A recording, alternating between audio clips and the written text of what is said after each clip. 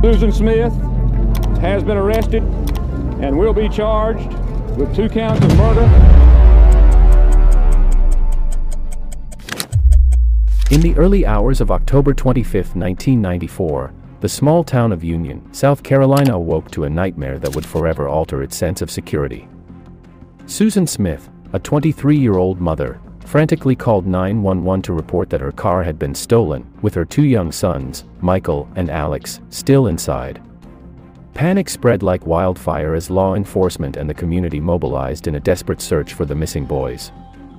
As the search intensified, media coverage expanded nationwide, and the nation held its breath, hoping for a miraculous reunion between Susan and her children. Vigils were held, and volunteers scoured the area for any sign of the boys or Susan's car. But as the days turned into weeks, hope began to give way to unease, especially as investigators discovered inconsistencies in Susan's account of events. The investigation's focus soon shifted from finding the alleged carjacker to scrutinizing Susan's own actions. Surveillance footage from a local business revealed that Susan's car had been driven to a nearby lake on the night of the supposed abduction. Dive teams were dispatched to the lake, and on November 3, 1994, their worst fears were confirmed when the car was located underwater, with the lifeless bodies of three-year-old Michael and one-year-old Alex still strapped into their car seats. The revelation of this chilling truth sent shockwaves through the community and the nation.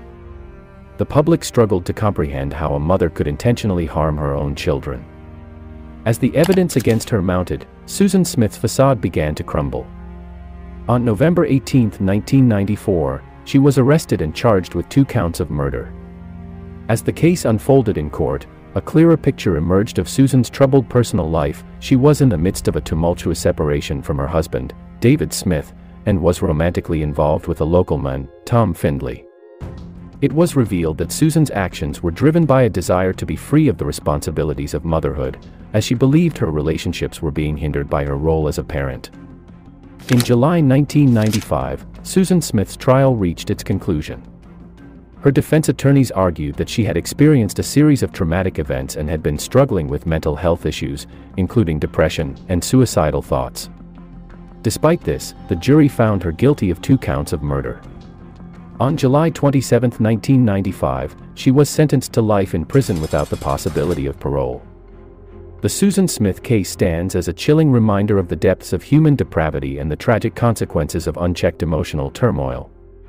The town of Union, once a peaceful community, was forever scarred by the events of that fateful October in 1994. The legacy of Michael and Alex Smith lives on as a reminder of the fragility of innocence and the responsibility society holds in protecting those who cannot protect themselves.